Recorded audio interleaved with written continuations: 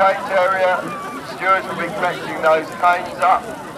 Please do not knock them over. Hang on to them till the steward takes them off you.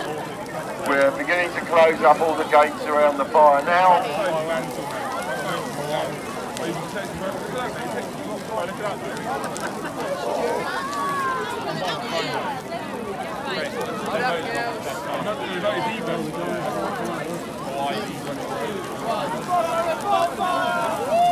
So, we have two fireworks displays this evening, or really three, probably. Uh, we have a special memorial firework to mark the end of the First World War at 8 o'clock.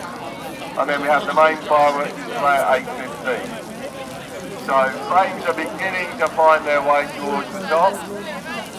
And it won't be very long before poor old Guy Fawkes is engulfed once more. So I mentioned fireworks. I'll tell you a bit about the fireworks display in while, but various people in the village have sponsored fireworks.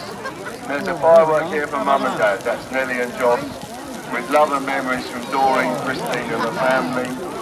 And a firework to Mum and Dad and missed loved ones from Gavin and Carol Parker. A firework for Margaret Knight from American family. The firework for Ben, all waiting forever, from all the Parker family.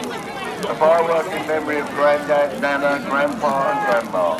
Our special stars shining brightly over us. That's from Olive, Jacob and Felix.